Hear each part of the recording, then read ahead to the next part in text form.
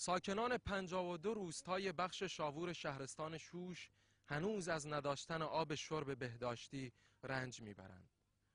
روستای دهیمه یکی از همان روستاهایی است که ساکنانش آب آشامیدنی خود را از برکه ها و یا زهکش های کشاورزی تأمین می کنند.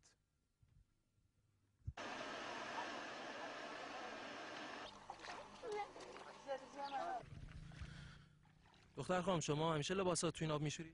بله از این آب میشه لباس هم مشتری خب از کدوم آب برای خوردن استفاده می‌کنید؟ از این آب در حالی که یک سوم آبهای سطحی کشور در خوزستان جاری است اما نکته قابل تأمل هنوز 250 روستای بالای 20 خانوار این استان فاقد آب آشامیدنی سالم هستند.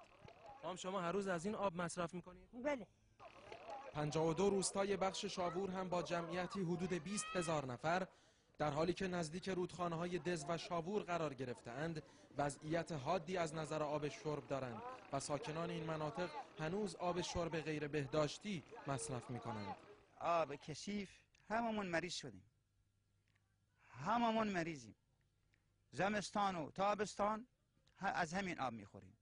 کلی بچه همون مریض شدن نوزاد هم نوزاد نوزادی که به دنیا میاد از این آب می‌خورن بخشدار شاوور می‌گوید این بخش 118 روستا دارد که نیمی از آنها آب شرب سالم ندارند. اونچه که ما رو خیلی متاثر کرد این بود که ساکنان این روستا حتی مجبور بودند از برکه‌ای که احشام درون اون قرار داشتند آب آشامیدنی خودشون رو تأمین کنند.